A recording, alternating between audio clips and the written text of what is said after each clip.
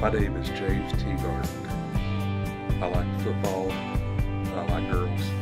I like fast cars.